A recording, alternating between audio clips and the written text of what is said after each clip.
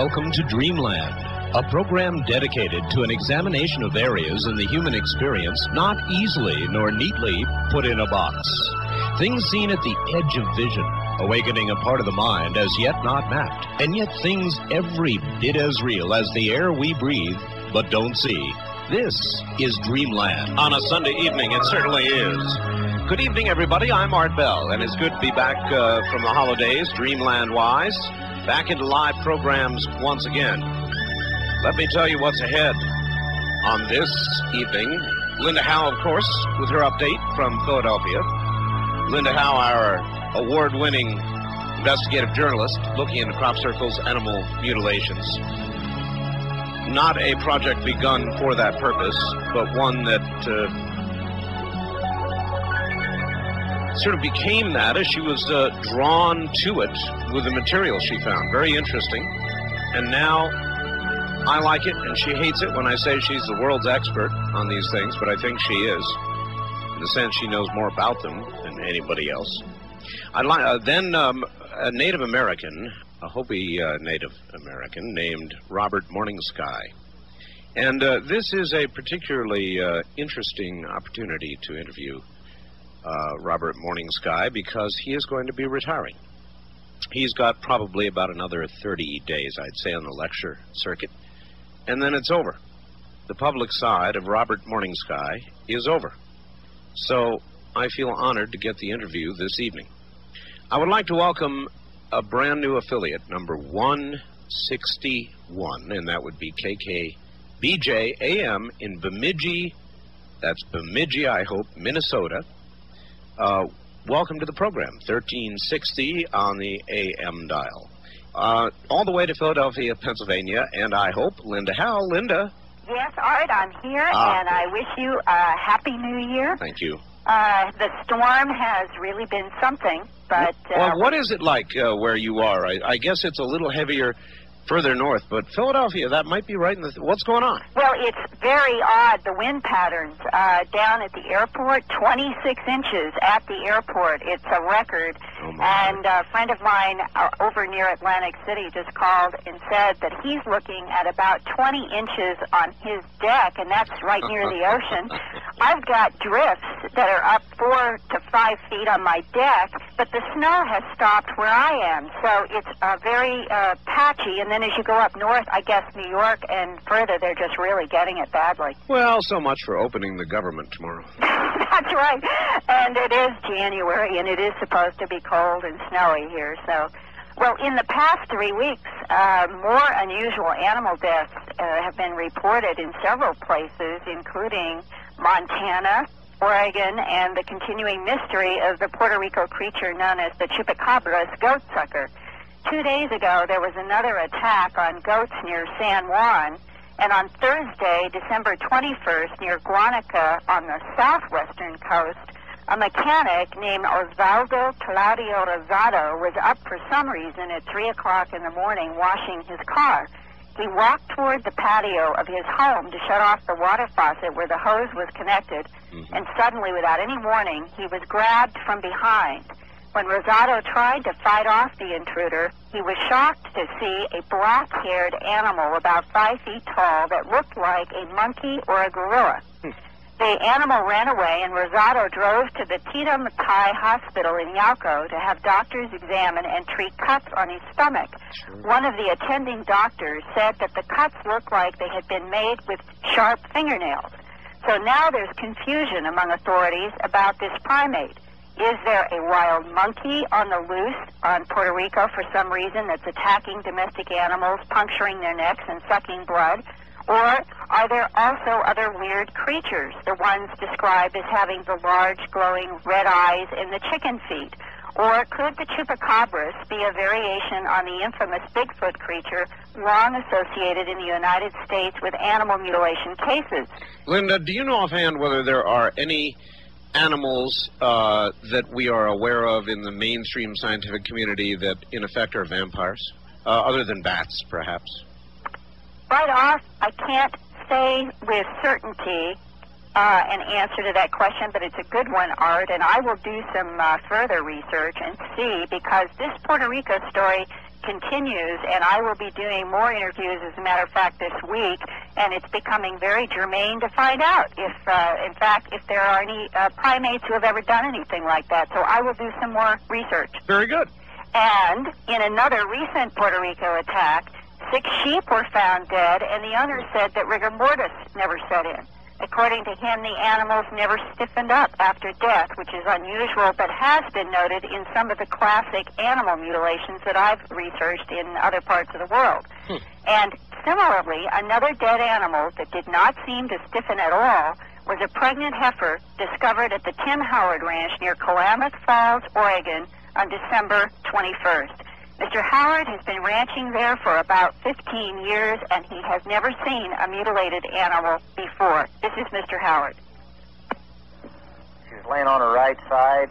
Her tongue was cut off right at the gum line. Uh, her eye, left eye was missing. Her left ear was gone. It was kind of cut around in a little bit of an oval shape and just took out like all to the bone. Mhm. And then uh, we noticed that the tits were cut off, and the back, just below the tail, was cut out in an oval shape, getting rid of the rectum and the female parts and and uh, stuff like that. Was there any fluid oozing from any of these cuts? No, none. And there wasn't really. There was a little pool of blood inside the back of the cow, but not not enough to really. I mean, it could have just been from a slice or something, you know. But it, there was no hardly any blood at all. All right. Um, and was that animal, did it have any temperature left in its skin or hide? It was still fairly warm, and uh, we were kind of trying to determine when it died, you know. So we checked around there, and uh, rigor mortis or nothing hadn't set in. Uh, the animal was still a little warm, and uh, joints all moved and everything. The cow was bloated up though, and stunk. Hmm.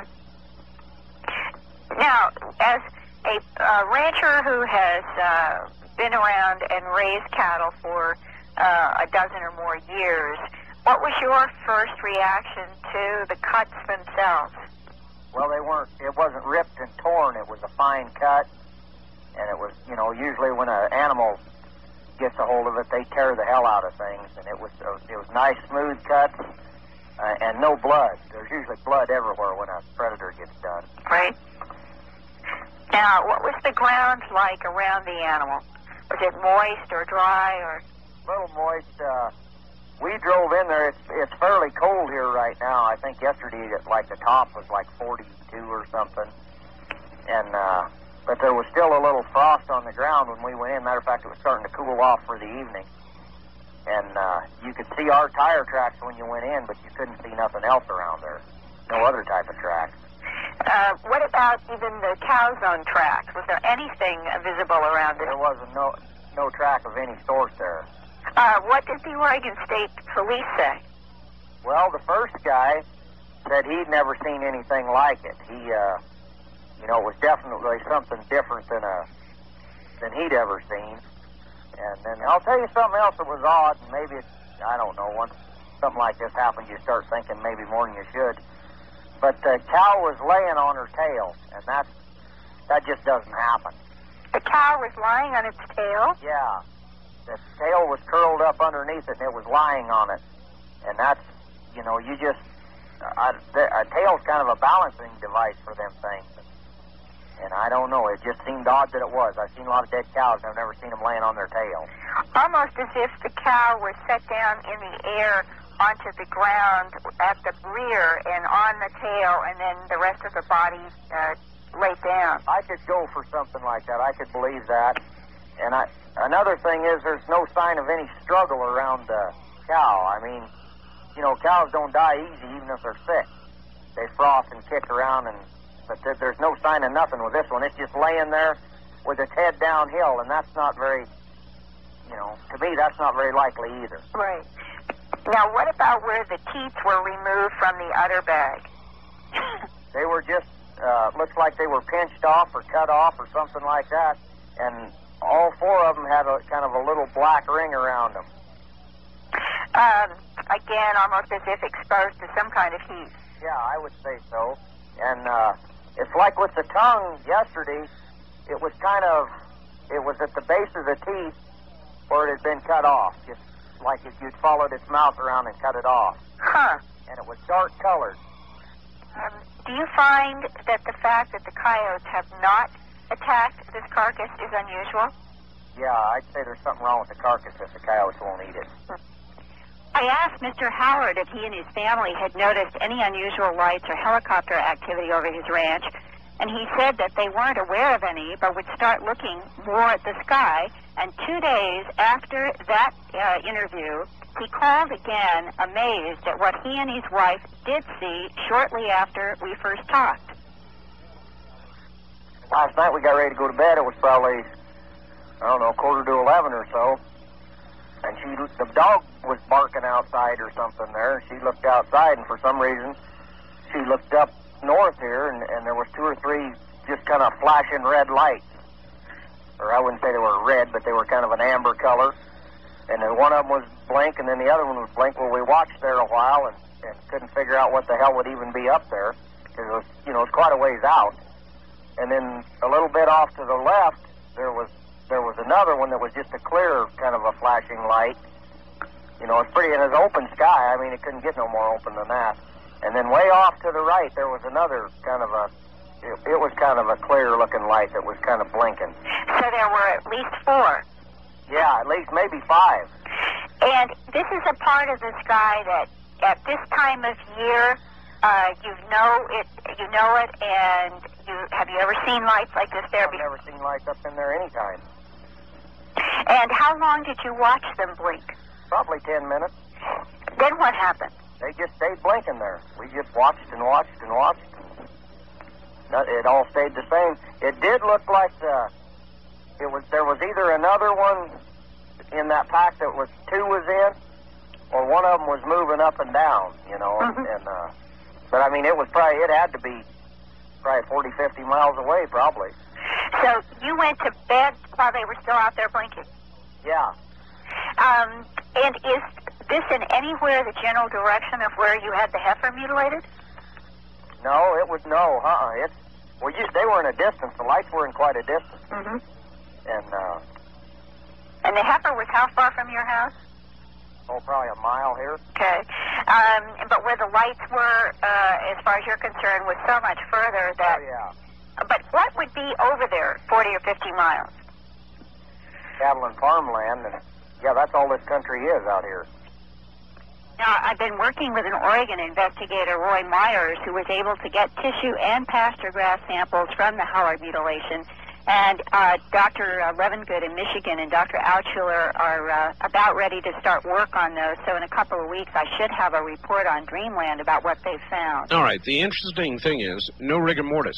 All right. That's right. If there's no rigor mortis, that means there has to be a basic chemical, hopefully detectable change uh, that has occurred in the samples. Right, and we, it has come up occasionally in the past, but getting uh, tissue, which this time around we've got, it will be very interesting to see if we can confirm the high heat at the excision lines and if Dr. Levengood can find these same metabolism changes in some of the plants.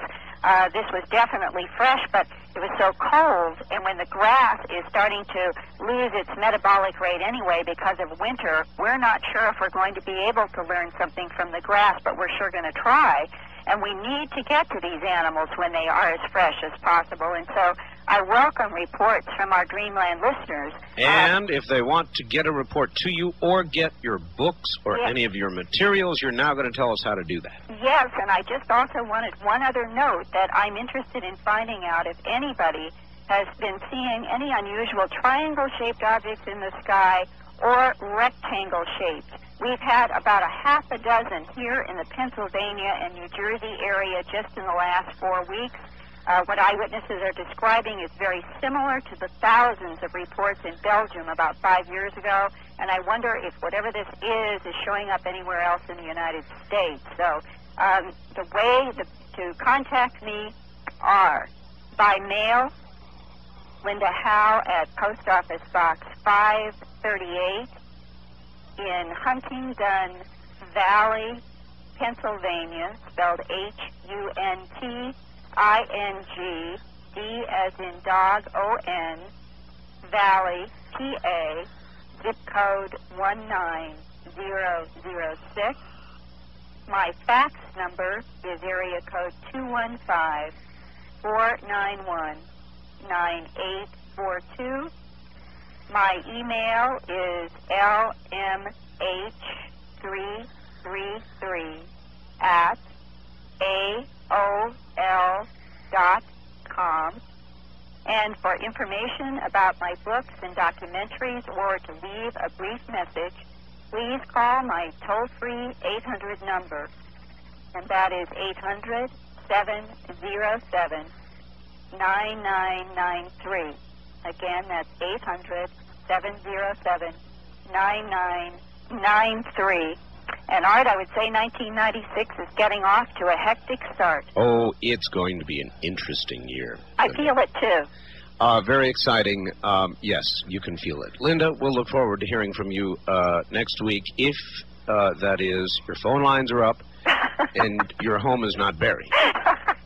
yeah, the, the blizzard of uh, 96 Yeah. begins. Well- but uh, there, uh, I'm one way or the other. I would get into report because there is so much coming from so many directions, and I have a lot of different interesting stories lined up for the next few weeks. Well, no offense, but it's about 60 degrees here. Better thee than me. well, at least we have gorgeous springs and summers. yes, you do, and you can look fall. forward to that. You think about that all tonight, tomorrow.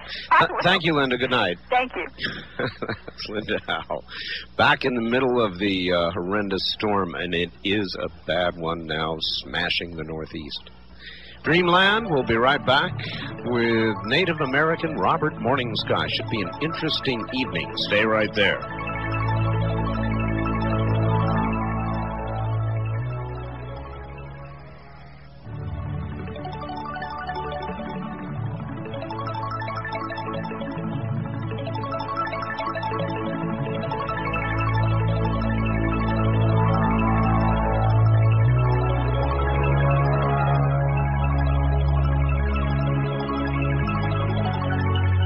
Kingdom of Nine, you're hearing Dreamland with Art Bell. To participate in the program, call toll free 1 800 618 8255. 1 800 618 8255. First time callers, area code 702 727 1222. Or the wildcard line at 702 727 1295. This is the CBC Radio Network. It is coming up in a moment.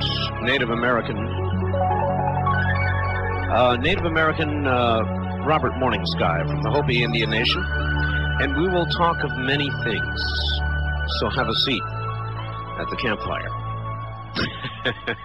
How's that?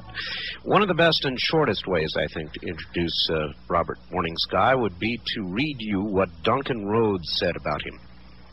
He said, One of the most remarkable people I have ever met is Robert Morning Sky.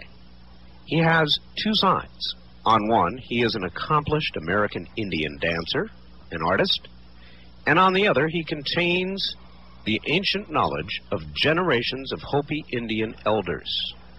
He originally came to Australia to attend one of the festivals held every summer. While there, he came across some of the more radical UFO information circulating about the country these days.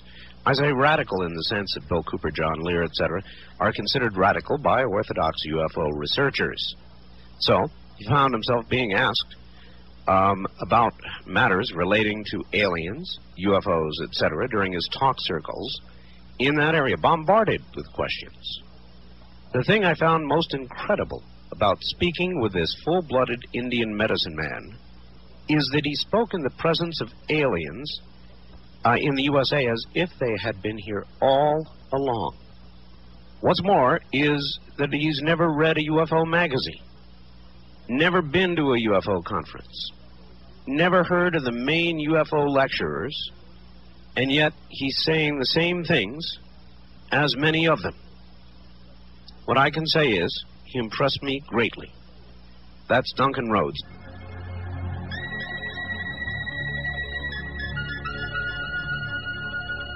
This is the end of. Let us go um, to Robert Morning Sky. Robert, where are you located? I'm in Phoenix this evening, sir. Phoenix, Arizona. Yes, sir. I guess you're on a lecture circuit, so you're you're flying around, huh? Um, yes, I am. Thank you. Uh, it's been uh, quite a hectic year. I'm on the uh, the last leg, as you mentioned earlier, and uh, I look forward to uh, retiring. And so that will be the end of generally the public life of Robert Morning Sky. Um, yes, I, I say that with a measure of sadness. I'm Sure. I'm very proud of uh, what we have done in the uh, short year. Um, I will uh, honor a few engagements that take us beyond February the first uh, in the United States and then in Germany. But um, the the pace has been horrendous. We did uh, 45 lectures and workshops in 48 weeks. I have three more to go in the last four weeks and um, uh, the response, and I'm very, very uh, pleased and very uh, honored to have had the kind of response that we've had from the general public. Um, Duncan Roads in Australia, he's the uh, publisher of Nexus Magazine, was extraordinarily kind to us when we were there a couple of years ago. Uh, I would like to uh, count him as a friend. It was through his encouragement that we actually um, decided to speak out in the United States, and so um, come February the 1st of 96, uh, with great pride and again a measure of sadness, um, I, I will retire. It is, it is time. I have done uh, everything that I could to fulfill a promise to my grandfather, and uh, the time has come to rest. All right. Um, then let me ask you this: Why are there not more in your shadow? Why are there not more Hopi uh, Indians? Why are there not other Indian nations that speak out publicly the way you do, or that have people that speak out publicly? I'm sure there are some, but frankly, I haven't heard of them. And uh, so, what's going on? Well, uh, there, there are absolutely good reasons. Now, let me let me ge- begin by correcting a, a very common misconception, and I want to make sure that people understand that uh, Duncan Roads has made an error in his quote, and several other people have in their comments about me. Uh, I am Native American. I am Hopi and Apache, full-blooded. I am not, however, a medicine man, a shaman. I am not an elder. Never have claimed to uh, be anything of, of, of that sort. And I want to stress that I speak only for myself. I, I do not speak for any nation. For the whole nation? No, I understand That's that. I, I'm simply asking you why there aren't more Robert Morning Skies Okay. out there. Okay. Um, perhaps the simplest explanation is to say that um, in the history of the relationship between the civilized world, in quotation marks, and the Native American, uh, history has not been kind to Native Americans. Our uh, and, and I'm, I'm generalizing here, but as Native Americans, our upbringing revolves around star beings. It revolves around descent from the stars. Um, I, I would go so far as to say that uh, the Māori in New Zealand, the uh, Aborigines in Australia have similar uh, stories. And our cosmogony, our belief system, our way of life revolves daily around the existence of star beings and, and those who have assisted us and, and uh, been with us all this time. The problem is that um, for some reason, and I don't know why, the civilized world, uh, researchers, writers, uh, people who I believe have uh, good intention, when they hear or heard the stories 50 years ago, 100 years ago about star beings and, and uh, that kind of phenomena, um, it was attributed to the smoking of some uh, grass. It was attributed to the myth and legends of uh, of a primitive peoples, the arrogance of a uh, of a civilized world that puts down um, what has been labeled a primitive world, uh, has become a bad habit.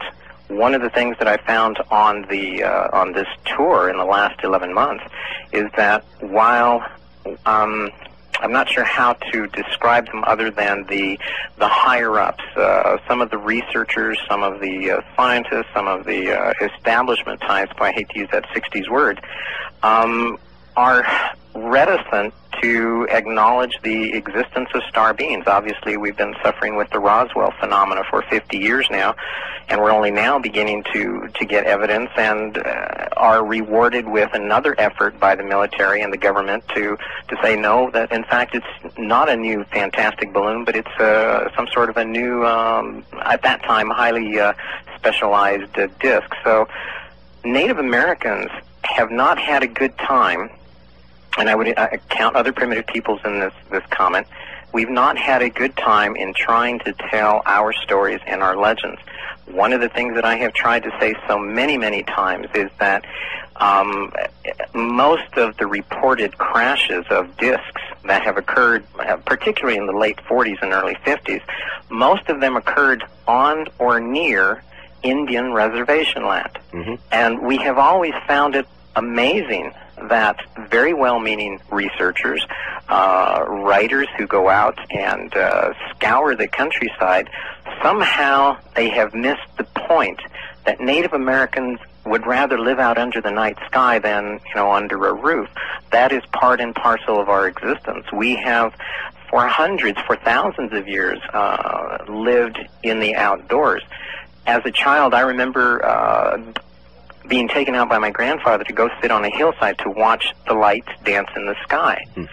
Um, it is astounding that somehow the UFO research community, I mean the very, very, uh, the, the truth seekers, somehow that point has escaped them. Well, all right. Let me stop you there and say, when I asked the question, here is the spirit in which I asked it. Mhm. Um, Americans are now rapidly re- reaching 50 years of age, about 10,000 a day. You know, the baby boomer generation. Yes, sir. The baby boomer generation is becoming far more spiritual uh, by the day as, as they get older. Older, and uh, um, it's not uh, a particularly structured uh, spiritualism, but very non-structured, very much uh, like the Native American uh, traditions. We also are becoming much more conscious of the earth around us, much as Native Americans have always been. So, to me, it would make sense that the baby boomers would reach out to people like you. And if you're not going to be there anymore, then there ought to be others. Well, you know, you're you're absolutely correct in in in what you were saying because uh, in the last 11 months, what we did discover is that. Uh, excuse the description, the average man, the average woman, those of, of us, and I include myself in that, who are not part of the in the know community or the uh, the power loop, that in fact we all really do have common uh, uh, desires, goals, and we are reaching for spirituality.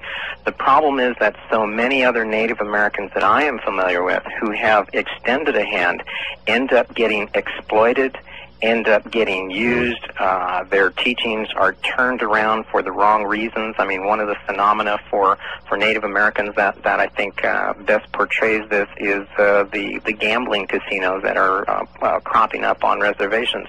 Uh, I speak again only for myself, and I'm sure I will get in trouble for it, but I believe that's probably one of the worst things that that, that has happened to Native Americans. That, Might I ask why? Uh, in other words, um, in the coverage that I've seen, and it may, may well be, you know, just orchestrated coverage, uh, they say that gambling has brought to reservations uh, money, housing, uh, an economy that simply did not exist previous to the gambling.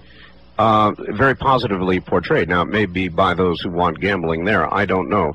Uh, but you've got the opposite reaction. Why? Yes, because uh, though I, I agree that uh, for the most part it probably has put money into the economy of the reservation, but as I understand from other elders and from those that I have spoken to, the average uh, reservation take, so to speak, is about 10% of the monies generated. The bulk of the funds seems to be going towards the management companies, which are, are almost always not a reservation uh, group or a company. It's something that is off reservation. No, I understand. The casinos come in and they build. Yes, Um, right. uh, And so I, I have, again, my, my personal opinion, I have a problem. I believe that, um, boy, though the casinos are bringing in some money, I wish that there was another way to do that. It is an, it is an example I would suggest of Native Americans um, who I don't know if it was uh, belonged the idea belonged to one of us. I don't know if it came off the reservation, but it's a, it's an example of exploitation. It is good, but I think it could have been a lot better had Native Americans stuck to their guns and done it themselves. Well, of course, that requires a lot of capital. And uh, it's, Well, it's something they didn't have. So I guess that's the sadness. That is uh, again, uh, without uh, dwelling on it very for a, a, long time. That is one of the reasons that that the uh, circuit uh, tour that I'm doing will be ending. It's it's costly. It's very difficult to maintain the pace and to uh, continue and. Funding is just, I'm sure everybody that's listening understands that funding is very difficult, and so we do the best with what we can. I just I wish that the response of the civilized world, the powers that be, would be just a little bit kinder to native peoples. Uh, do you think it will change the nature of reservations in a negative way? You know, aside from the positive aspect of more money floating around, um, will it subvert the culture? Oh, I think so. I think so because, um, unfortunately, though, uh, money is and I hesitate to say a necessity, but it is something that is uh, crucial to survival in the system that exists. It also begins to uh, uh, pervert the values. Why should a young Native American man or Native American woman on the reservation, why should they pursue becoming a singer, a dancer, an artisan, somebody who continues the tradition of weaving baskets or doing sand paintings when they can go to a local casino and become a cocktail waitress or a blackjack dealer and make infinitely more money? And I can understand the, the survival of it. It's just, uh, unfortunately, uh, my belief again only that it will pervert the traditional values. Uh, could it be so serious that uh, you suppose, Robert, eventually the Indian nations, uh, as we know them, and the reservations as we know them, will simply disappear? Simply disappear into America's new culture? Well, the tragedy is that it's already occurring. There are many, many tribes on the eastern seaboard who are not familiar with their traditions, who don't know the old ways, who have lost uh, their songs and dances. Uh, they were uh, incorporated into the American concept uh, 200 years ago. Here in the Southwest, uh, they are relatively intact because we have not had that much contact. Arizona became a state um, only some 80 years ago in 1912. So our values here are relatively intact, but in the East Coast, there are tribes who have been swallowed up and who really don't have a sense of their Indianness. I was just recently asked to go to Seattle to uh, speak to some children on a reservation up there. And in the Northwest, the same thing is occurring. The, the values of being a warrior, the values of standing for something regardless of the odds against you, um, they're being lost to a regular paycheck, a fast car, and sure. a CD player. No, I'm sure it's true. Um, what is the what is the blue kachina? Well, the the blue star kachina is is one of the most fascinating of all the kachinas in in the uh, Hopi way of life. A kachina has three forms. It is the spirit of the things that are around us. It is the spirit of uh, the wind, the trees, the plants, the animals. Uh, the kachina is also the dancer, a, a, a uh, human being who dances, uh, personifies, dresses, and becomes the spirit. And then you have the third variation, which is the actual carving, a uh, carving that represents in three-dimensional form the figure. The Blue Star Kachina is perhaps one of the, the, most mysterious. It uh, there is not a great deal of information on the Blue Star Kachina. Its name is Nangasohu. Uh, it's sometimes called the chasing star or the meteor kachina, but one of the most dramatic aspects of the, the uh, carving of the figure is that it has a four-pointed black star on its face. Um, the rest of the face is blue. Hmm. There is a long trailing headdress of feathers that go pardon me, that go down its back and trail down onto the floor. And it is said that this represents the long tail of the meteor of the blue star. A couple of amateur astronomers, uh, one named Hale and one named Bopp, and one, as a matter of fact, from Arizona, have discovered this thing out beyond the orbit of Jupiter called now Hale Bopp. It's coming this way, We'll miss Earth, they say, by 1 to 1.5 AU or astronomical units. Uh, is it possible, everybody wants to know, uh, Mr. Morningstar, whether that might be blue Kachina?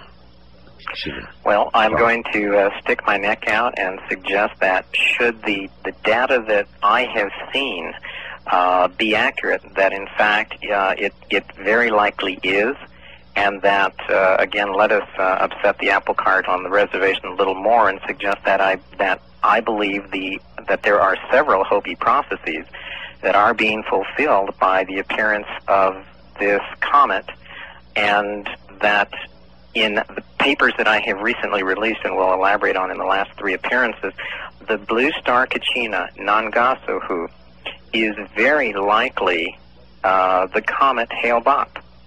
What is most curious, and, and, and sir, if you would allow me, you are so kind, Art, to allow me to uh, have this uh, last uh, interview, a gift from me to you because I was going to save this for California. But there is a Hopi prophecy tucked away. It can be found. It is in several books that are out there, and the prophecy says that the blue star Kachina, Nangasuhu, does, does not appear individually. It always appears in pairs.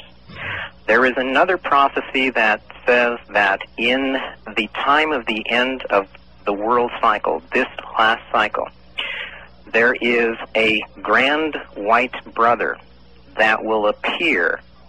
His name is Bahana or Pahana, depending on the accent of the individual. Pahana, the great white brother, will appear at the end of the cycle. I wonder how Zecharia Sitchin would pronounce it. Um, All right, listen, Robert, we're uh, at the top of the hour, so you can take a rest and think about you, that sir. one, and we'll be right back to you. Robert Morning Sky um, is my guest, and he is a Native American of the Hopi Indian Nation. He speaks, though, for himself and very well indeed. There's much more to come on Dreamland. I'm Art Bell. We'll be right back.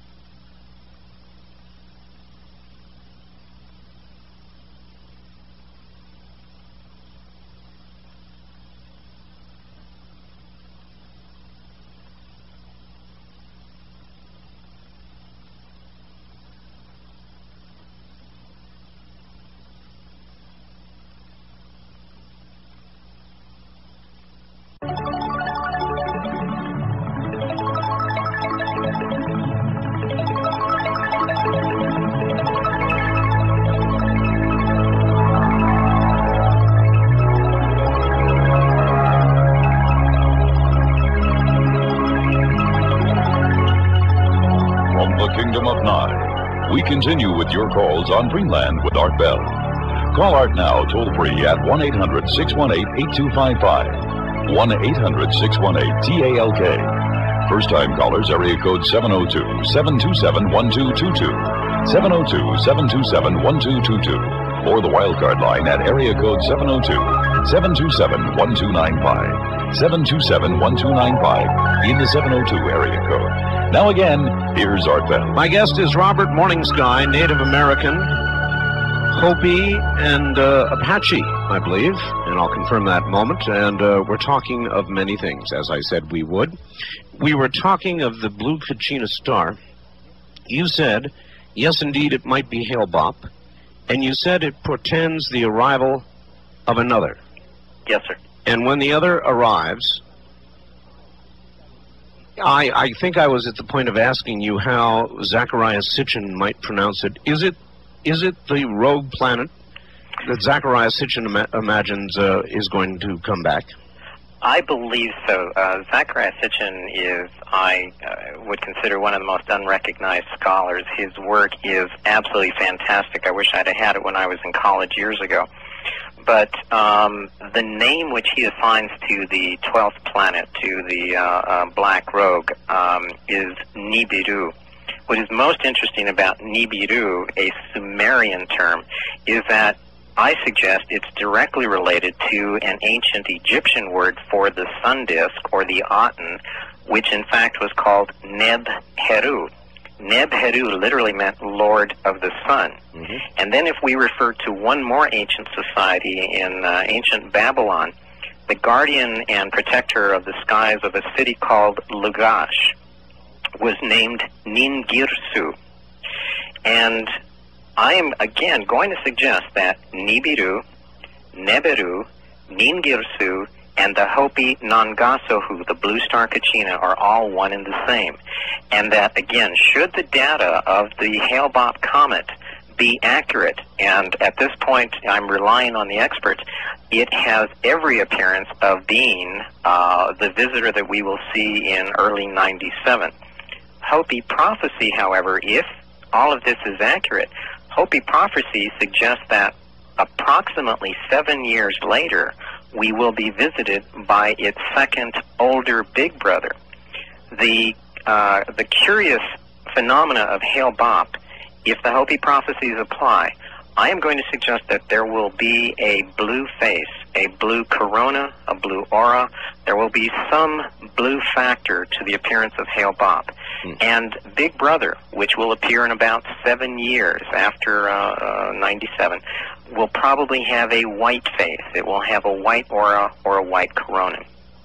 And when it gets here, uh, as in the MASH song about suicide bringing on many changes, well, I, I don't think it's a time for suicide. On the other hand, I'm sure some people might. no, no, argue- no, no, no, I wasn't arguing for suicide. Uh, it will bring with it many changes. Absolutely, and and we are, I believe, already beginning to uh, witness these changes. Uh, I bow to the words of a gentleman who I have a tremendous amount of respect for, who calls it the quickening. Yeah. And um. I believe that um, many, many things are going to be happening. Not just the Earth changes that everyone uh, is is talking about and making predictions about, but also changes in in mankind itself. Uh, there will be a speeding up of of events and biological processes. One of the things I've suggested uh, this last year on the tour is that women will find that their monthly cycles will shorten. Uh, they're going to find that uh, the the uh, uh, what the pregnancy stages are going to quicken. Uh, I am going to also suggest that we're going to find some anomalous changes uh, in the uh, the actual birth of children. We have already, for example, on the reservation, begun to witness the birth of children with six fingers, with six toes. These are not a, a just a useless appendage, but a fully functioning, uh, unrecognizable uh, Now, sixth finger. You- And uh, you're giving me you're giving me a lot of news here. I've not heard a word about this. Where has this begun to These have been reported on the Navajo Reservation, which is in the Four Corners area here in the southwest. My understanding is that there are some reports like this in Alaska. I will be uh, I will be happy to contact the individual and have them forward this to you, but. Um, uh, I don't have them right here on hand, but I, I will have them faxed to you. But there are reports of uh, six-fingered children. I have uh, photographs of uh, some children. One that was uh, born in the United States, not to a Native American family, but uh, the granddaughter of a very, very close friend. And I promise you, it is unrecognizable. Uh, you know, as a six finger, you you simply would have to be looking carefully in order to see it. All right. Well, then we have to talk quickly about Roswell or Socorro, whichever it was, Mhm. uh, and the Santilli footage with the six digits, fingers, and uh, and on the feet. That's correct, sir. And uh, and again, there is believe it or not, I suggest a link between the Hale-Bopp comet, its return, the surfacing of the uh, film of the six-fingered uh, figure in the Santilli tape. I just today received a fax from Mr. Hesemann and uh, Mr. Santilli, and um, I there is most definitely a link between the birth of children with six fingers and six toes with the surfacing of the Santilli tape, which shows the uh, six, fing- six fingered uh, hand Wow. and the six toed. And I will also again refer back to the ancient societies back in Egypt and Sumeria, where the numbering system was based on 12 and not 10. Um, I can only suggest that's a very curious coincidence that uh, a 12 numbered system was used by the ancients. We have a 12 fingered being who was uh, autopsied in that film that Mr. Santilli provided us. And again, with the birth of uh, six fingered or 12 fingered, 12 toed uh, children. Um, and this is going to, I again suggest, is going to happen. Actually, it was not. It was not one, but it was two films, I believe, of two separate autopsies, That's correct. both with um, six fingers, six toes, and you you say ancient. Uh, I'm sure you're familiar with the um, uh, the very secular phrase "hide in hiding in plain sight." Are are you trying to tell us that these people, the star people, if you will, are with us now? Yes, sir, I am. One of the um, one of the most important aspects of what I have been trying to suggest all year on the tour, and we'll finish with, is I, I am trying to provide documentation, ancient sources, contemporary sources, and suggest to the world that the gods and devils of mankind have uh, those that we spoke of in, in ancient uh, uh, legends and uh, all the ancient civilizations spoke of, um, that not only did they exist, and certainly Zacharias Sitchin, and uh, there is a new book out, Fingerprints of the Gods. My apologies to the author, I do not recall his name. I was just gifted with a copy. There are numerous authors who are writing about the ancient ones in the sky, star beings who have uh, either interfered with or guided man, uh, let the listener choose the word. And should, for example, all of these authors, should the stories and the research and the material that they're providing be true, then the question that has to be asked is, where are they? And I simply suggest to everyone that not only are the stories true and they were here, but they are still here now. And if they are hiding, they are hiding in plain sight. Um, they are not little green men. They are not uh, these enormous headed, big eyed uh, creatures with green, scaly skin.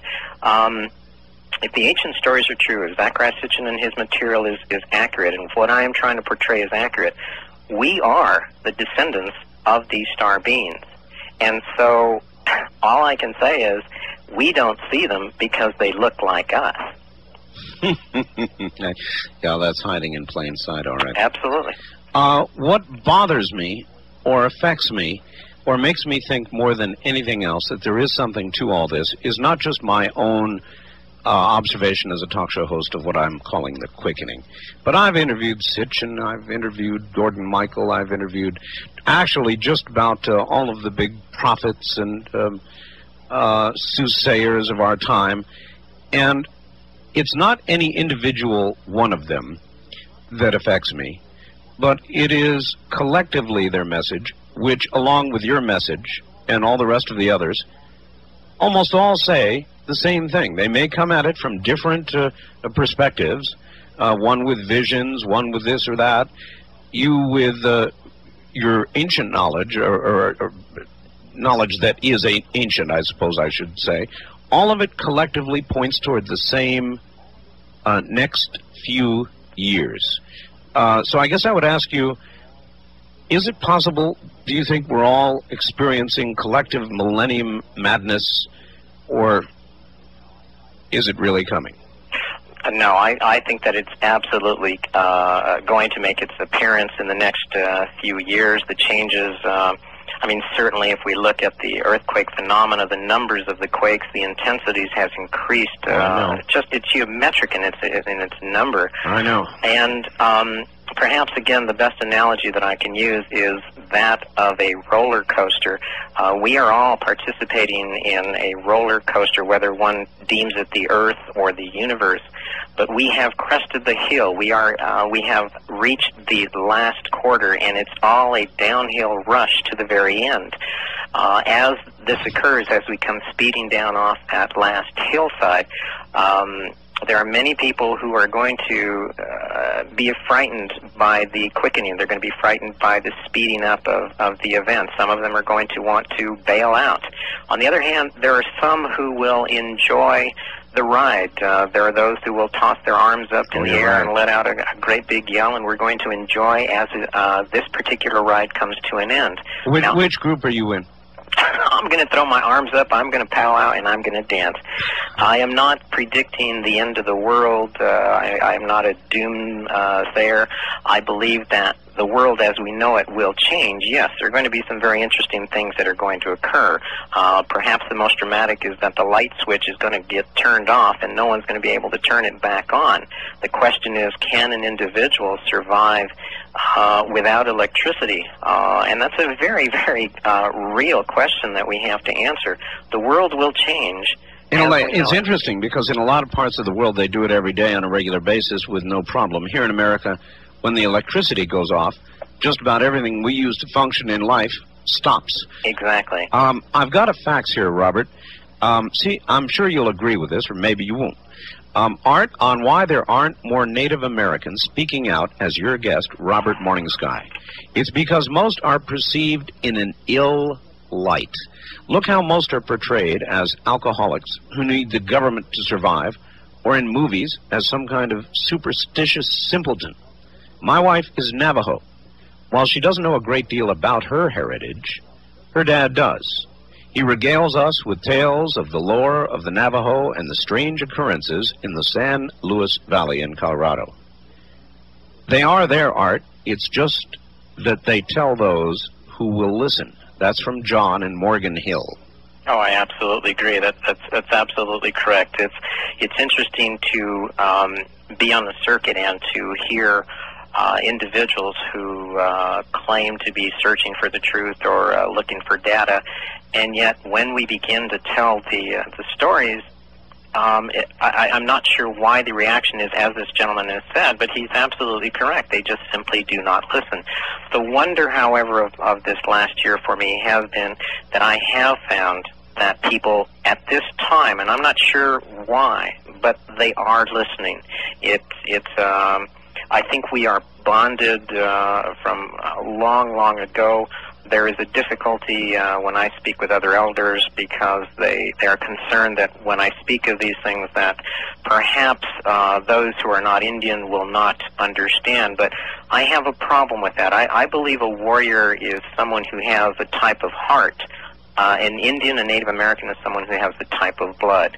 And so I really do believe in the warriorhood of mankind. I really do believe that we can handle the quickening, the changes that are coming. And I really believe that if the higher ups, if the powers that be would leave us alone, I don't believe we'd have half the problems that we have on uh, this world today. Many of the prophets that one might speak to would suggest that these coming changes that we all seem to know are coming uh, can either be lessened or modified or negated altogether by human behavior. Is that your belief? I think so. I, I think that, again, at any given moment, we have uh, the opportunity to make a change, uh, both as an individual and as a whole. The problem that I have is believing that um, we will be able to um, get together with a common direction. Unfortunately, we have too many, again, powers that be from institutions that are uh, oriented towards religion or education or economic uh, sources, bankers, uh, politicians. Um, the institutions are the ones that are really um, Possibly uh, past the point of no return, in other Yeah, words. Robert, yes. hold on. We're at the bottom of the hour. We'll be right back to you. Robert Morning Sky, more in a moment.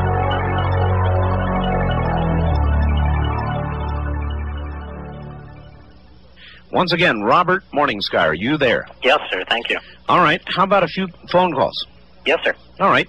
Um, just before I pick up the first line, um, I've got a a fax here from somebody who simply asks, um, one of the most important elements of your work, Mr. Sky's work, Morning Sky, is your translation uh, or translations of Orion and Sirius words. Please ask him about these words, the ones covered in your papers. Are we talking about the uh, the decipherment of the uh, the Santilli tape? I believe so. Yes. Mm-hmm.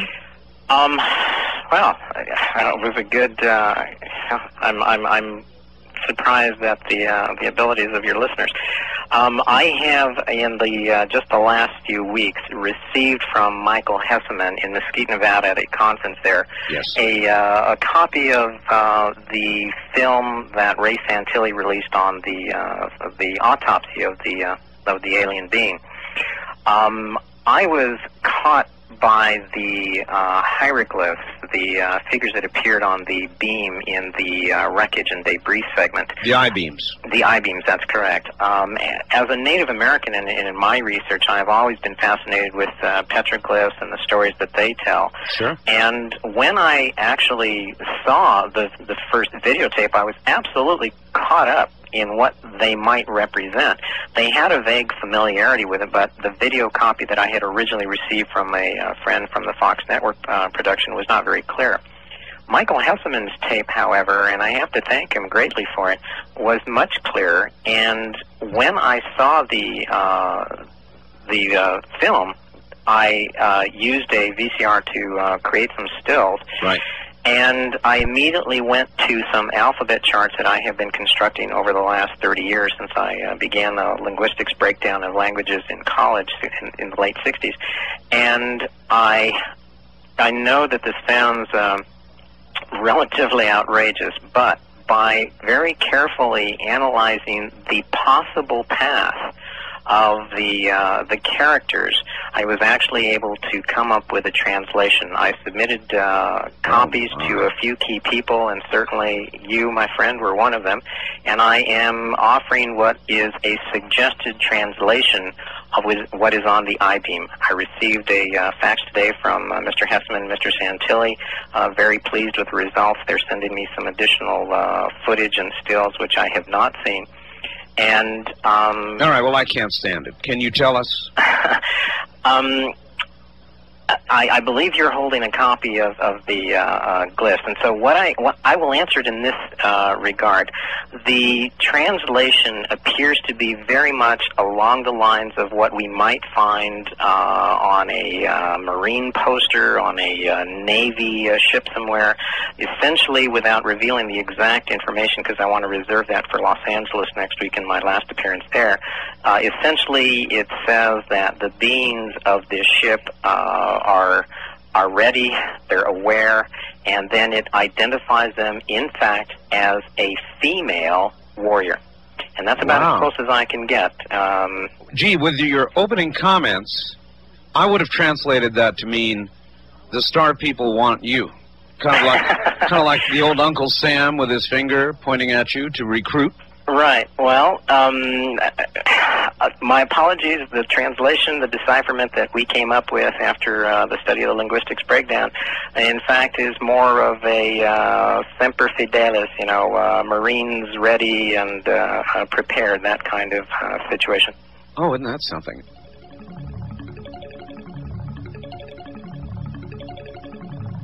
This is the end of side one. Please leave the Let's go to the phones. Uh, west of the Rockies, you're on the air with Robert Morning Sky. Hi. Hi, how you doing? All right, where are you, sir? My name's Kirk. I'm calling from Santa Ana. Santa Ana, all right? Yeah, I have a question. With all the billions of comets floating out there in the Oort cloud, at least that's what astronomers say, is that there's this big cloud of comets floating out there that periodically get nudged out and they drift into the solar system.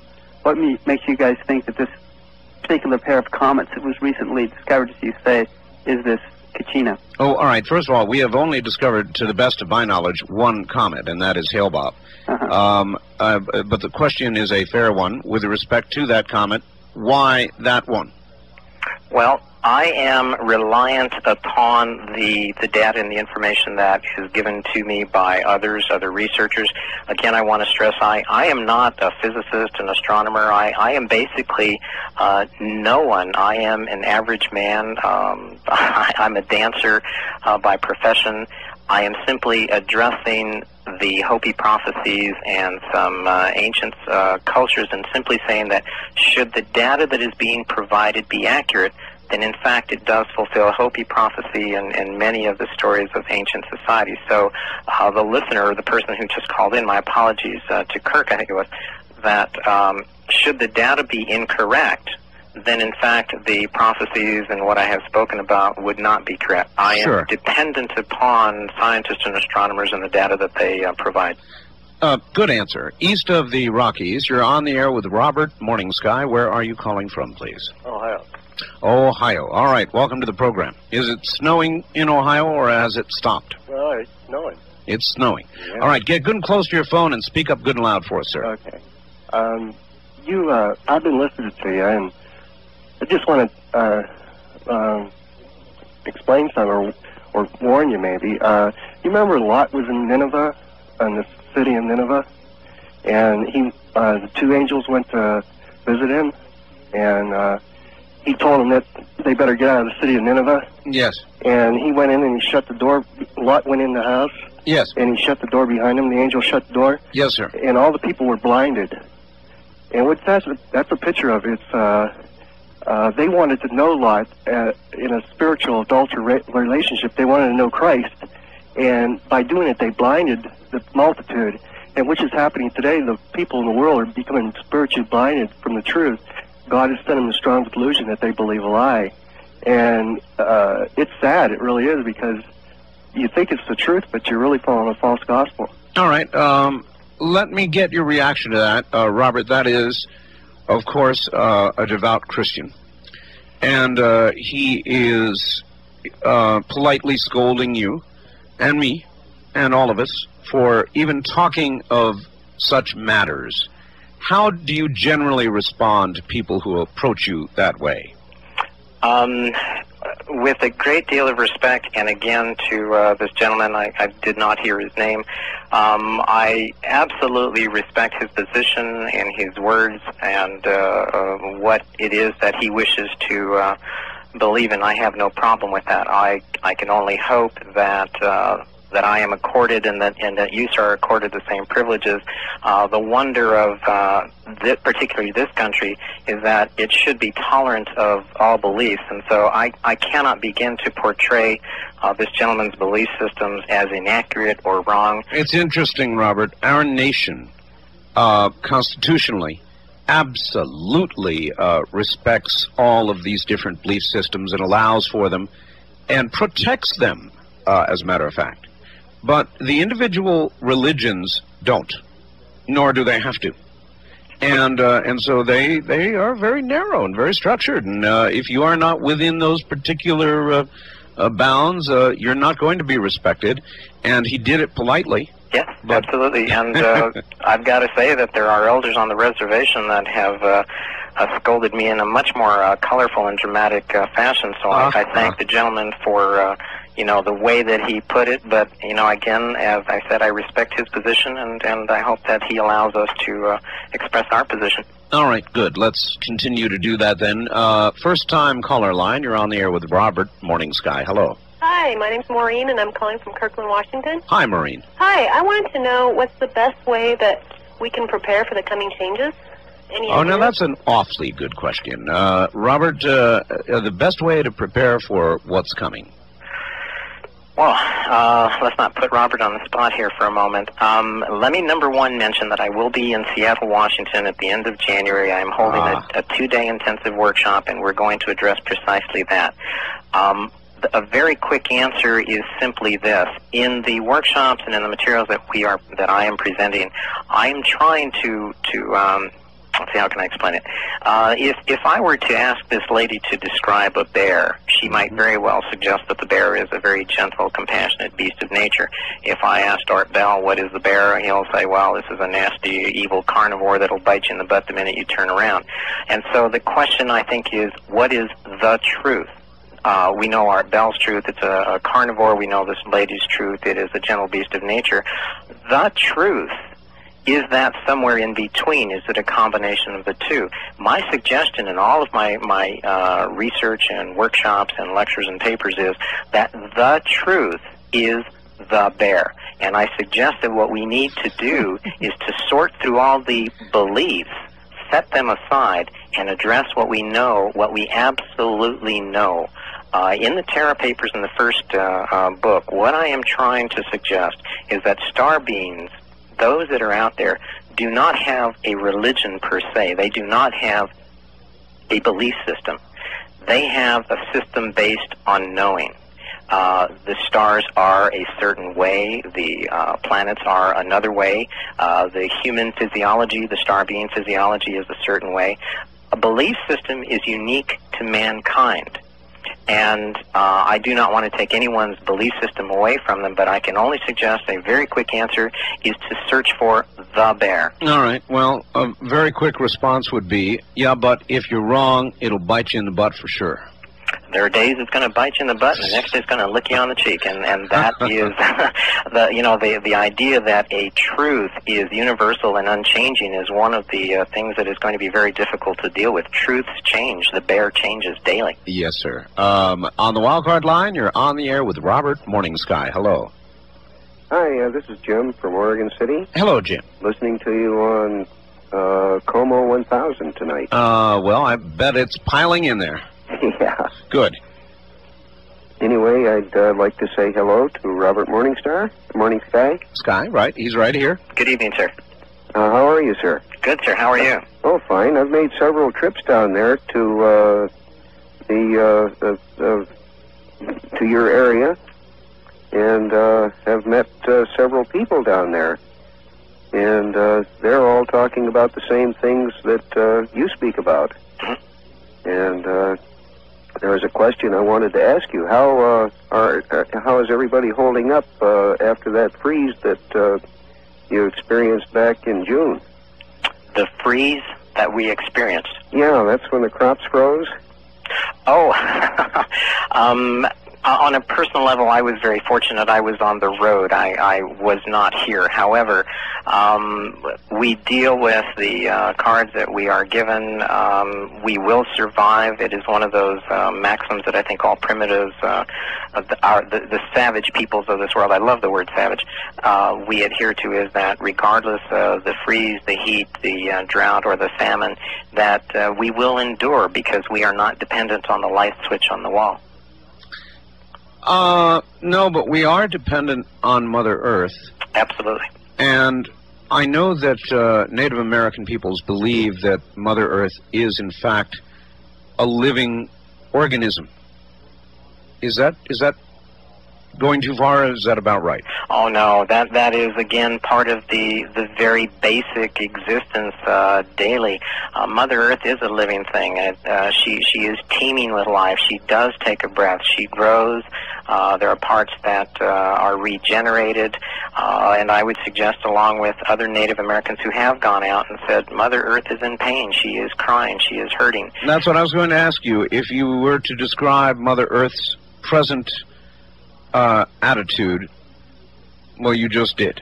Yeah. She, she, you would say she is in pain. Oh, she's in, in great pain. She is shivering. She is shaking, and um, it, I hope, as as part of the answer to the lady just a moment ago, that we need to uh, take care of, of uh, Mother Earth because, in fact, we are dependent on her. The light switch is not anywhere near as crucial as uh, the fresh air and the uh, water. We have a legend from long ago that says that the uh, Great Spirit converted the most beautiful woman in the universe, and he changed her into Mother Earth. She, uh, her hair became the grass, her blood became the rivers, her bones became the very stones themselves, and we are all descended and born of Mother Earth, and we need to take care of her as we take care of our own mothers, our own grandmothers, our daughters, and our wives. And it's absolutely vital. One of the answers to the uh, previous question was we have to be aware that Mother Earth is in pain. Robert, I don't know where I got it. It just came from inside. But you said something a little while ago that stood the hair up on the back of my neck. You said we're on a downhill slide. I have said, uh, when I refer to the quickening, that we have passed the point of no return. And to me, that personally does not mean that the world is going to end. I keep saying it so people understand it. But it means to me that we are going to go on to whatever is next, and there is going to be a change, and that it seems to me, or at least I guess I've concluded, that it is unavoidable. And I absolutely agree. I think one of the things that, uh, in my very, very brief uh, encounters with you, sir, is, impresses me is that many times when you speak, the few times that I have heard you, been able to listen to you when I uh, was on the road, I, I think many of the uh, comments that you make come from deep within. I think uh, many of your listeners, I, I think the reason that they're listening is because it strikes a chord deep within. The answers are there and we just need to recognize them. And but I absolutely agree with you. There is the end of the world as we know it, meaning the systems, the institutions, and and the ways in which we punish ourselves. Those will change, but it is not not the end of the world at all. On the other hand, I'm sure a banker on Wall Street would think it is the end of the world. uh, you and I, I'm sure, Well- will go out and powwow and we'll dance uh, all through the night at There are, campfire. that's right. There are many worlds, and thank you for the kind words. Uh, perhaps it would be summed up um, um, as I summed it up once when we did a what if, which of course everybody dragged out and uh, changed as if to say that I said some comet was coming to hit Earth. I didn't say that. What I did say was that if a comet should be coming uh, to hit Earth, I think that uh, after, you know, considering it carefully, I would um, sit right here as long as I could and talk to you.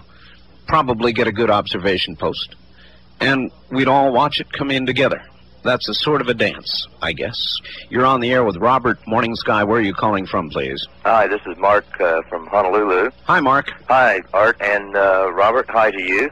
Welcome, you, sir. It's good to talk to you again because I first met you several years ago when you did uh, the tour in Melbourne, Australia with uh, my friend Duncan Roads. Oh yeah, sure. Duncan is a good man. Yeah, he is. And uh, I was just wondering, though, that if any of in your historical um, background, you know, with the the Hopi or the Apache Indians, is there any um indication, like with this change, like what will come on is like a um a moving into another dimensional area where, let's just say that the the world and the people as it is now are just in a lighter space, while the third dimensional realm that we understand now stays here so people can keep working out their heaviness? All right. Well, that's a long question uh, and not much time to answer.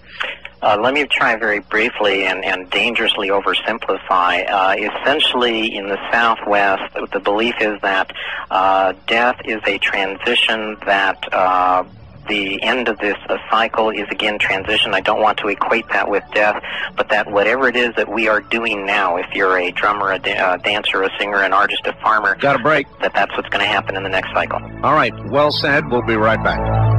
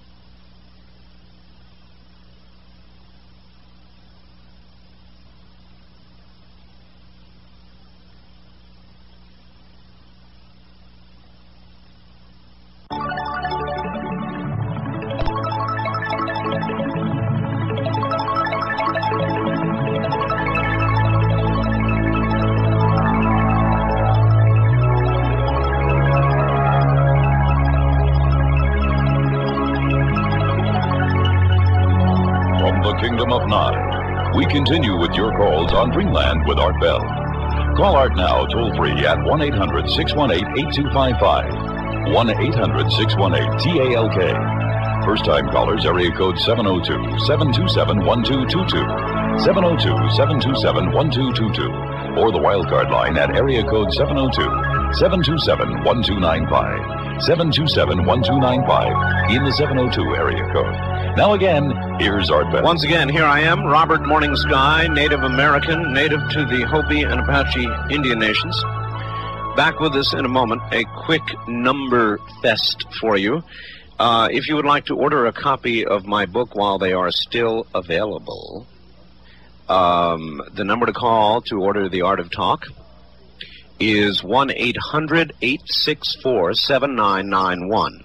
1 800 864 7991. We will be giving each of you who uh, register for our big trip coming up uh, to Russia and to Scandinavia a 12 day excursion on Holland America's pride and joy. Uh, great big ship, beautiful vacation coming August 3rd. Call and get the brochure. I don't have time to tell you any more about uh, all of it, but uh, call and get the brochure. If you're in the Eastern time zones, you call 1 800 848 7120. That's 1 800 848 7120. They'll send you a whole brochure on this. Central Mountain Times, call 1 800 633 2732. And Pacific time zones, call 1 800 624 7779. All of them at uh, 8 a.m. Pacific time. That's uh, once again in the Pacific time zone, 1 800 624 7779. And the brochure is absolutely free. Show you what, where we're going. It's going to be an awful lot of fun. Another important number is if you would like to order a copy of this program or our newsletter, please make note of this number. Good 24 hours a day. The number is 1 800 917 4278. That's 1 800 917 4278. All right, that was the number fest. Uh, now let me give my guests an opportunity quickly to plug. What would you like to plug? If you could plug something, you've got the Terra Papers. Uh, what would you like to plug, Robert? Well, thank you very much, sir. Um, for the opportunity. One, let me uh, uh, plug Art Bell and say that uh, I'm very pleased to say that uh, there are a few warriors on the uh, quest for the truth, and I'm very, uh, very happy to, to be able to uh, know that Art Bell is going to continue with his quest. So I, I am honored. I'm very, very honored. Um, I, I will, uh, for again the, the rest of uh, this uh, year for me until February 1st, I have uh, the Terra Papers, which is the uh, essentially the summation of the research on the history of uh, mankind, the hidden history of mankind. We are releasing uh, next week in Los Angeles the report on Hale Bopp and the Santilli glyphs, the decipherment. Um, people who would be interested in, in reaching us. Um, in my retirement phase, I, I hope to be able, should the interest be there, to take people on uh, vision quests and to take them uh, on expeditions into the uh, Canyonlands to show them some of the uh, data that we use to put out our books. They can reach me at, uh, I have a phone number, area code 602 996 6324. And our fax number is area code 602 953 0129. And I invite uh, those people who live uh, in Los Angeles. My last appearance will uh, in Los Angeles area is next weekend. In Seattle, I'll be there the last weekend in January. And then my very, very final appearance, I intend to powwow and dance uh, madly, will be in Austin, Texas, the uh, second weekend of uh, February. And uh, Well, you are heard in all of the areas you just spoke of. So Oh, well, good. Well, I, I invite everybody to come out and uh, dance with me, and uh, hopefully we make some sense uh, with the lectures and workshops, and uh, we will toast Art Bell when we do this. Robert, thank you. Um, you're more than kind. East of the Rockies, you're on the air with Robert Morning Sky. Hello. Hi, Mr. Morningside. Good evening, sir. Where are you, sir? I'm from Flint, Michigan, All right. and uh, I have a couple questions. Um, one is, uh, do, do Native Americans really uh, think differently or uh, have different ideas about things like success, serenity, and fear? Again, I hate to to speak for anyone other than myself, but I think if you look at uh, uh, friends' books, uh, material that is out there, it should be pretty evident that we do have a different perception of what success is. We don't measure it in terms of of money, but in fact of uh, moments of uh, happiness and uh, um, feeling proud. I know that people don't understand it when one of the things that we teach in the warrior way is, is that we should be able to wake up every morning and say it is a good day to die. That does not in any way uh, manifest a death wish. What it says is that i have lived my life to its fullest. I have said i love you to those that i care about. I have done the best that i have could and, and uh, defended with honor the integrity of, of being a warrior. And uh, so the perception of success um, I, I, I can confidently answer that yes, but again, I do not speak for anyone other than myself. Yeah, I understand. Um, the, the other one is, um, well, I have some friends that like they were white until fairly recently, and they've become like sorry. overnight Indians. I'm sorry. Uh, yeah, I'm sorry too. You want to run that one by us again? Well, they they've uh, they they started going to sweat lodges, making handcrafts, and reading Native American philosophy. And I was just curious what your opinion is. That Oh, I see. All right. What he's saying is they're going native. Um, again, as I said earlier, you know, to be a warrior means that you have a type of heart. To be a Native American means you have a type of blood. Um, contrary to what some elders have argued with me about, I do believe that there are warriors who are out there who have the genetic makeup of what we consider to be a white man, a black man, and an Oriental man. So uh, they're going native. Um, fantastic. I, I, I, I will admit to a prejudice. I hope they powwow and dance and wear a feather or two. All right. Uh, from Jody in Hawaii, a fax. Art and Mr. Morning Sky. I've heard of, quote, bringers of the light, end quote, and other such extraterrestrials who were seeded here on Earth. You stated that we are the descendants of the star people. The reason we can't see them is because they look like us. I'd like to take it one step further. Is it possible we cannot see them because we are them?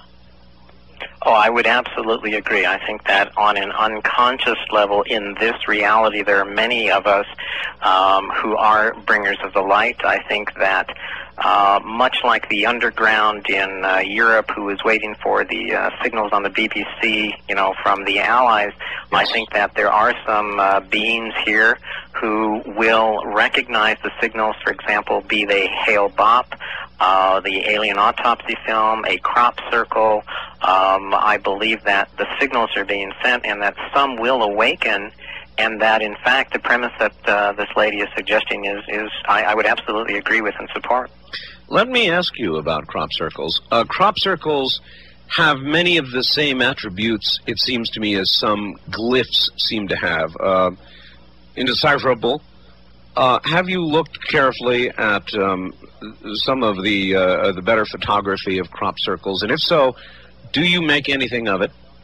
Well, absolutely. I, you know, uh, Art Bell continues to uh, amaze me because he has anticipated uh, one of the uh, few people that uh, I have met in uh, my travels this year, and actually over the last couple. Is one Busty Taylor, who is a photographer who worked with Colin Andrews. I met Colin Andrews years ago in Australia. Ah, yes. And um, I know this is going to sound odd, but at the end of January, my appearance in Seattle, I have invited Busty Taylor, who will be flying in from England. We will be presenting a two-day workshop, and we're going to compare the petroglyphs with crop circles, and we will compare them to the Santilli hieroglyphs uh, on that alien autopsy tape. So, Art, you've done it again. You've anticipated precisely what we want to do at the end of the month in, in Seattle. So, should anyone be interested in a, a comparison of petroglyphs, crop circles, and the Santilli hieroglyphs, uh, if they can at all uh, uh, do it, they, uh, we will be there in Seattle at the end of uh, January doing just that. Very good. East of the Rockies, your turn with Robert Morning Sky. Hello. Uh, yes, sir. This is Randy calling from Arkansas. How you doing, Randy? Okay, fine. I love your show, by the way, Art. Thank you. And uh, I have a question for Mr. Morningstar. Sky, Morning Sky. Morning Sky, I'm sorry. I have two questions. Do you believe in angels? And also, uh, I believe you spoke of changing into something coming up here in the next few years. Do you believe that this may be a change into a different spiritual body? Okay. Um, in response to the uh, first question, uh, I do believe in angels, but I don't believe uh, in the the concept that is generally portrayed now as a, a glowing being with a halo and wings. I believe that there is a basis for this figure. Uh, again, in the Terra papers that we we wrote, we present an explanation of what the angels really are. So my answer, yes, I do, but not in the commonly accepted. Uh, Can you give Can you give me the short version of what Robert Morning uh, Sky believes an angel is? What is an angel? Um, whew, very good question. There were essentially uh, figures who assisted the star beings who colonized the solar system and planet Earth. Uh, Zecharia Sitchin refers to them as the Nephilim, uh, uh, the Anunnaki. Um, the term angel is actually derived from two root words, Enki and El. Enki is uh, Prince Ea. He is the essentially the star being who created mankind, and El simply means the Lord. Uh, the Enki Els or the angels were those who assisted mankind, who uh, helped in the development and education and becoming uh, more human. And so, yes, I do believe in them, but not quite in the uh, fashion that is being portrayed. They are absolutely accurate, and I believe they exist today. I think there are star beings who continue to motivate and assist mankind in achieving a different spirituality, a different level of consciousness. All right. Uh, and by the way, for everybody out there, I have the most remarkable, remarkable photograph of what is clearly an angel um, that you've ever seen in your whole life. And I want to make something very clear because I have received a couple of messages uh, to the contrary. Um, I we have a I shouldn't say I. There is a fellow across town, retired FBI fellow, who has put up a bulletin board and is kindly carrying for us the files uh, and photographs that we collect that are unusual that I would like to be able to share with all of you. There is no charge to go on that bulletin board one time each day and download a photograph. I urge you, if you have a computer, to go and download uh, a photograph called angel.gif. That's angel.gif. And you can do it at the bulletin board. And as I'll repeat this one more time, so I hope it's clear to all. You absolutely can go on there, member or not, free of charge, one time per day. If you want to upgrade your status from there, it's fine. Uh, it'll cost you some bucks, a few bucks, not very many. But one time per day, it is free. F R E E, free. The number to call to get into the bulletin board is area code 702 727 1709. 702 area code 727 1709. And we're going to be talking more about that photograph. So if you can lay your hands on it, by all means, do so. And our phone lines west of the Rockies, you're on the air. Hi. Hi, hi, Art, Art, Art and Robert. Sorry. Yes. Good evening, sir. Uh, this is Todd in Bellevue, Washington. Yes, sir. Um, I'm a Christian also, so um, I wanted to be respectful and uh, say that I appreciate that you believe what you believe. Um, and I wanted to ask, uh, the Bible does teach that um, there will come a time that there will be, for better lack of term, um, a one world religion where everybody will become more spiritual but no apparent specific religion.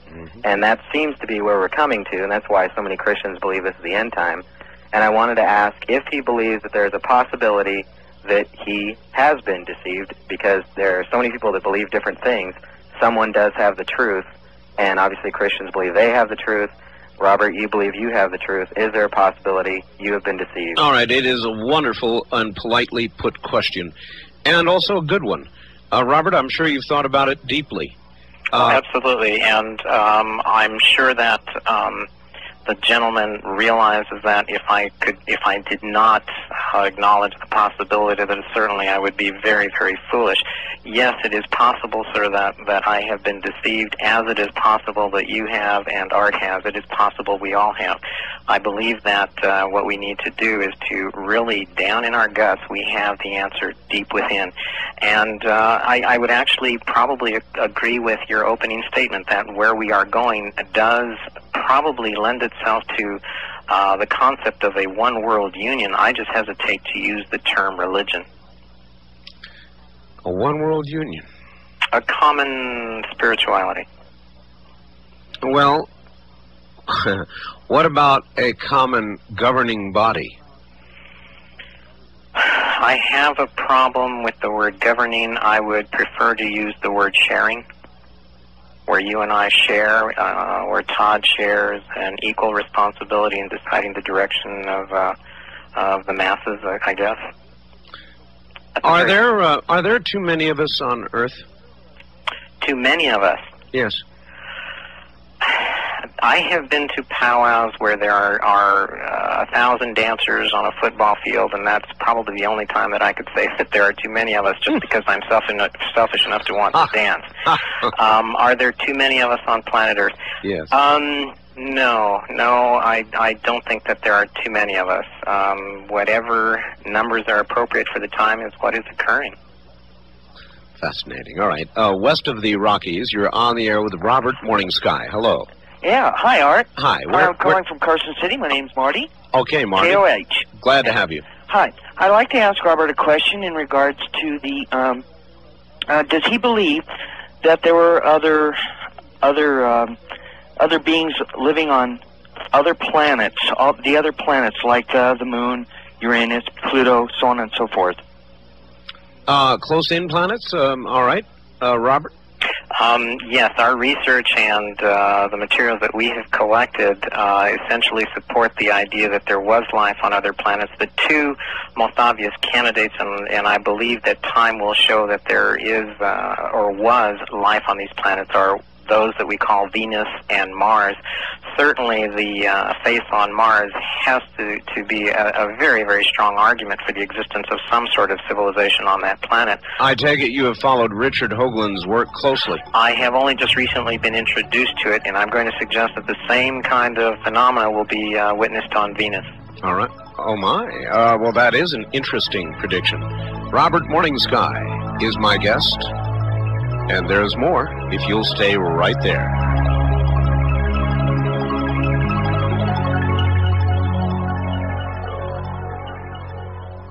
KVEG 840 radio in Las Vegas is now carrying Dreamland live.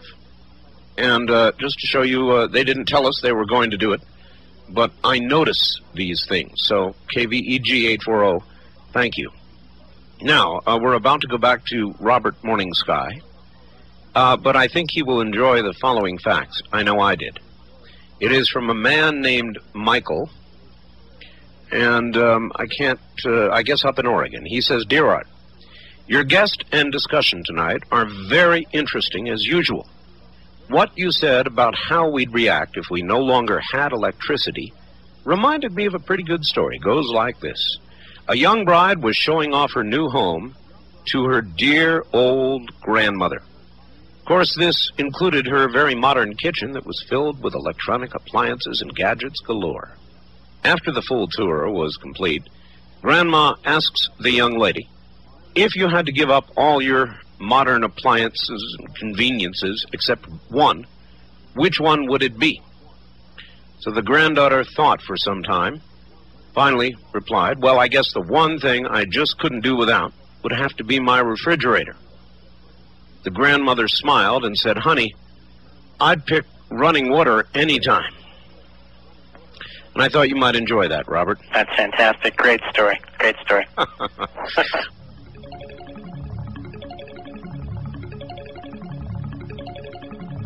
This is the end of. Well, we've got a zillion people out there who would like to uh, speak to you, so I guess it's onward and upward.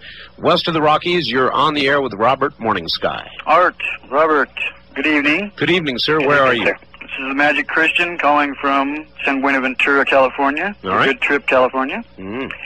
Yes, uh, Mr. Morning Sky, I'd like to know if in the Hopi traditions or prophecies there is anything that would correspond to uh, a prophecy made several places in the Christian New Testament about what we have come to, come to know as the rapture, the sudden disappearance of a great deal of people, human bodies off the face of the earth all, All right. in one instant. It is an interesting question. Is there any corresponding uh, legend uh, at all?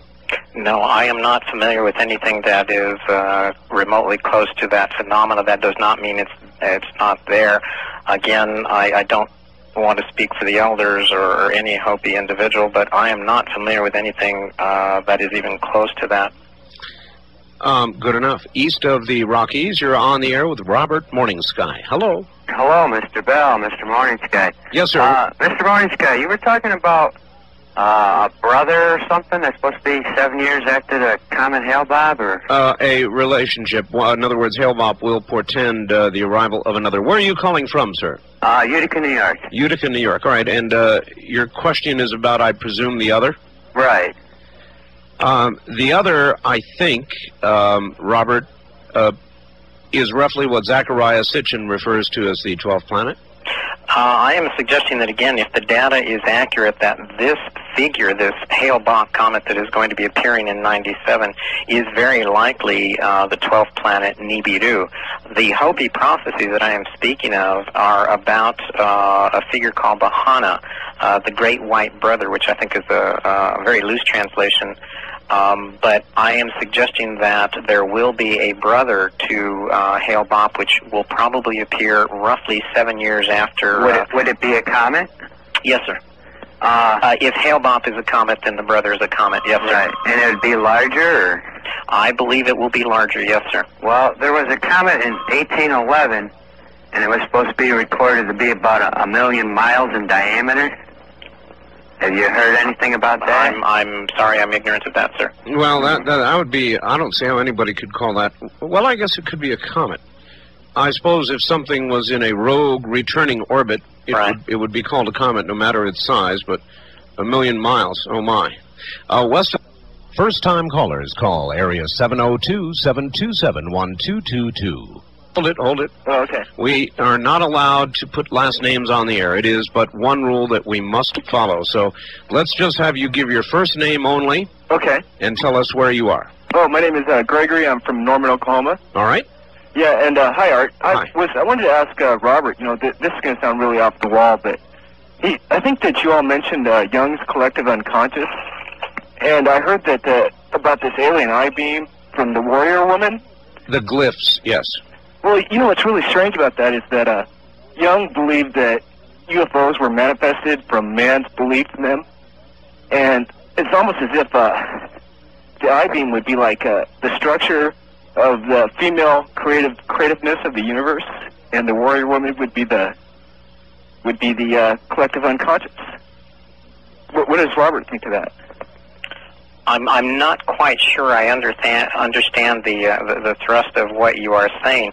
I can only suggest again that the decipherment that we are offering uh, to the uh, research community, um, I I do not know actually what its contents are. I am suggesting a translation which is much more innocuous. It's much more simple. It simply was addressing uh, what a warrior woman might say. I am ready. I am prepared. That kind of thing.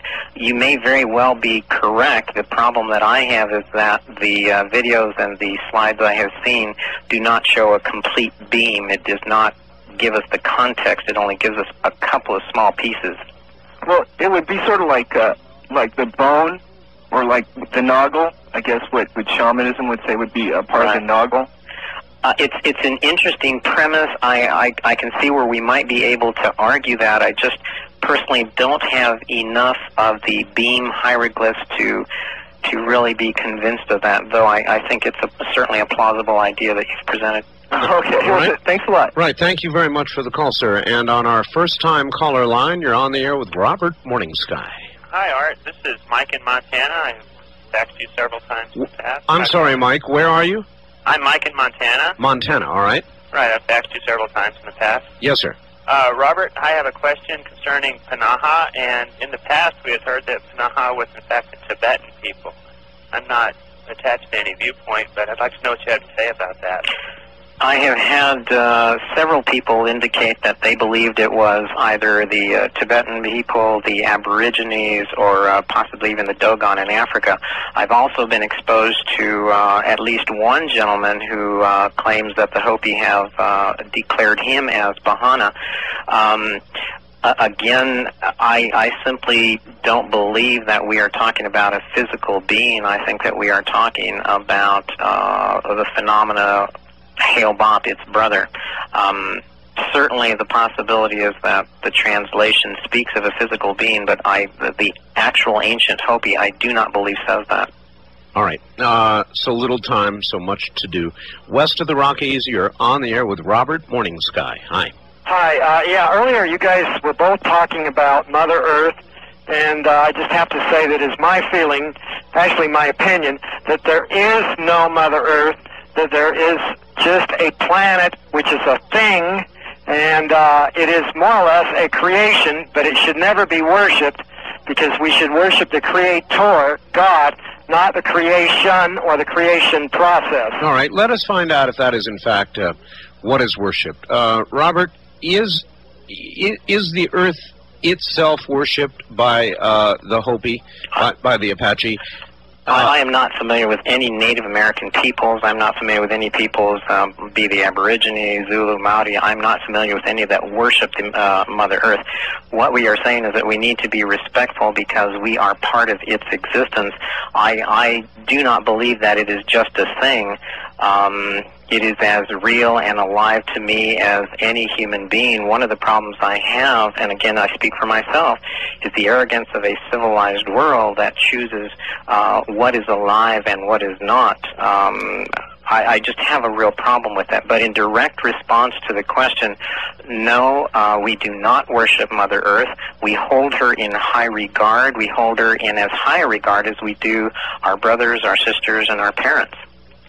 Well, that's an awfully good answer, and I'm glad the question came up, and maybe it will prevent it from coming up, up, uh, again. But I wouldn't uh, wouldn't depend on it, Robert. Uh, they're trying to catch you, and they're Christians, and it's all right. It's just, I, I guess, in a lot of ways, I tire of it. I, I knew that you did not worship the earth. Uh, and thinking of the earth as a living thing is not the same as worshiping it as you would an idol, which is what he was suggesting uh, in, in sort of a slightly flippant way that you are idolizing a mere thing. Right. Uh, Well, I, w- I would simply attribute his position to a place of ignorance. That is not a, a, a criticism or, or denigrates the gentleman in any way. It, it just comes from not knowing. But uh, worship is, is not anywhere, uh, not remotely close to not how the right we word. would believe in Earth. Not the right word. East of the Rockies, you're on the air with Robert Morning Sky. Hello. Hello, Art. This is Dave from Cape Coral, Florida. Uh, glad to have you. Get good and close to your phone, sir. You're a little hard to hear. Okay. I was wondering, uh, that was a good lead in from the other caller. Does the French nuclear testing and all the other nuclear testing that we've done in the past, does that uh, affect the Earth in a negative manner? Oh, that's a wonderful question. I'm uh, I'm glad you asked it uh, because I would not have. Robert, um, we are exploding bombs. We did it. The Russians have done it. The Chinese have done it. The French have done it. For all I know, the South Africans have done it right now. The French are doing it in the Pacific. Right, and I, I believe, I, I don't think anyone would have a problem understanding that we are changing the balance of Mother Earth, the natural uh, uh, growth and development. Um, we are destroying the bones and the essence of what goes on inside. Um, one of the things that the uh, the Hopi and the Aborigine uh, in general accept is that as we treat our Mother Earth, so shall our um, our our mothers, our wives, and our daughters. So shall they manifest. In other words, I believe that Mother Earth is suffering internally. I am going to suggest that the women of our planet, our daughters, our wives, our mothers, uh, are also going to suffer internally. Women are going to start having reproductive problems because Mother Earth is having problems reproducing herself. Those problems which we begin to see in Mother Earth, the breakdown of the inner core, the breakdown of the air and, and the very blood, the, the, the waters of, of Mother Earth, those breakdowns are going to be manifested in our women, and we're going to see more and more women having not only internal problems, but blood problems, reproduction problems, and bone problems. Boy, does that make sense. I suppose old Indians don't die, they just dance away. Quite well said, yes, sir, and I intend to dance. Uh, perhaps uh, if, if you can call on your guardian angels, and uh, uh, they might be able to entice us to come back. But I thank you very, very much for the uh, opportunity to speak to you. Robert Morning Sky is my guest. He is retiring. He is leaving public life. It is a sad thing because I would like to interview him again. Though you never know what life holds. Would it be possible for me to uh, mention the LA conference? I just received a fax from the uh, producer, and, and they're almost sold out. I'm I'm I'm very fortunate. Yes, you may mention it. Go ahead. Um, they're in, in Los Angeles next weekend. We will be putting on a two-day intensive. Um, I don't want to spend time other than to give the phone number if I might. Go ahead. Uh, it's area code eight one eight three five five nine three three nine. And then our final appearance with uh, a very honored, uh, I'm very honored to have both Busty Taylor and uh, Dr. Arthur Horn with me in Seattle. If people would like to catch that one, and that will be our last uh, intensive workshop, will be area code uh, 206 763 3018. And thank you so much to you, to your listeners and to you, sir, for allowing me to uh, be uh, with you and to uh, express the ramblings and ravings of a renegade. Well, renegade. Oh, Well, let's let's get just a couple of more calls. We've got that much time. East of the Rockies, you're on the air with Robert Morning Sky. Where are you, please? Uh, this is Curtis from Lexington, Kentucky. Hi, Curtis. Uh, Mr. Morning Sky, are you familiar with a uh, Mr. Jose Arguelles? I only know the name, sir. I do not know the work. Oh, okay. Well, I, I was just wondering if uh, you knew how Art can get in touch with him if he gives uh, interviews of any sort. But I think that would be a good uh, good person to get in touch with. Well, sir, if you can help me out, um, Uh, he worked. He has uh, some books with uh, Baron Company. I think that's the latest publishing company. that might be enough. I'll give it a try. Okay, thanks a lot. All right, thank you. West of the Rockies, you're on the air with Robert Morning Sky. Hello. Howdy, Robert. This is Dennis. Good evening, sir. Dennis in Medford. Uh, I had a quick question for you on uh, uh, basically Art's The Quickening. Uh, is there any in the Hopi uh, histories uh, of the Earth and its poles changing axis? Ah, yes. Yes, sir. As a matter of fact, there is a story. Um, one of the legends speaks of uh, Spider Woman who has placed two twin grandsons, one at the North Pole, one at the South Pole, in the Northlands and in the Southlands. And the legends, and there are numerous uh, uh, legends, do speak of the changing of positions of the two twins uh, several times. And I'm going to suggest that these legends that say the twins change places, in fact, uh, verifies and confirms the concept of a pole shift. Uh, I was just speaking myself. I know from uh, from the Comanche legends that uh, uh, the sun at one time did come up in the west and sat in the east. So that's correct. Yeah. And I, I There are several probably nations that do address, I think, that very, very same concept that there has been a changing of the north and south poles, that the directions were reversed at some point. All right. All right. Thank you very much, caller. First time caller line. Running out of time. You're on the air with Robert Morning Sky. Hi. Oh, um, listen, I wanted to know a little bit more about the Blue Star Kachina. Um, Hale-Bopp, how does that relate? Well, uh, we've covered that extensively. It is the view of Robert Morning Sky that uh, uh, Hale-Bopp may well be the Blue Kachina or Blue Star, right, Robert? That's correct, sir. Absolutely. All right. Wild card line? Uh, nope. East of the Rockies, you're on the air with Robert Morning Sky. Hello. Yes, uh, congratulations, Art, for getting Robert Morning Sky on. Thank you. Where are you? Uh, uh, calling from St. Louis, listen to KSD, Oh, and yes. uh, could you get Carlos uh, Castaneda on, please? We could try. Uh, do you have any question for my cur- present guest? Uh, no, just tell him to keep up the good work. All right. All right, all right, thank the you. blind man and the elephant uh, parable applies very much to what he's talking about. The blind man and the elephant, elephant where everyone's reaching for, for- they've got the whole elephant, and they've got a hold of God. That's what all the religions of mankind are all about, and about the Indians. They're all in, going in the right direction. Well, that may well be. That may well be, and it. Uh, I'm sure it may be. Uh, Robert, would you agree or disagree? There may be many paths to the same destination. Oh, absolutely. Very, very much so. I mean, um, there's the highlands and the lowlands. Absolutely, sir, without a doubt. All right. Uh, let's see. Can we squeeze east of the Rockies? You're on the air with Robert Morning Sky. Where are you? Edmonton. Edmonton, Alberta, Canada. All right. Uh, one quick question, then we got to go. Okay, uh, just uh, to, uh, to ask him if he has a word of wisdom for uh, those of us on the path to higher spirituality. Very simply, three words pursue your passion. Whatever that is, that is fire within you, pursue that, and the rest of it actually will all fall into place. It's like saying follow your gut, follow your instincts. Pursue your passion, yes, sir. Gosh, which so many have said.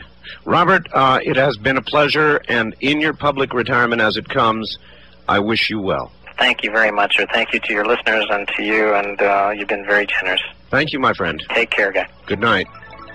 That's Robert Morning Sky. And uh, if you'd like a copy of this program to archive, I can imagine you would. You can get it by calling 1 800 917 4278. Right now, 24 hours a day. That's 1 800 917 4278.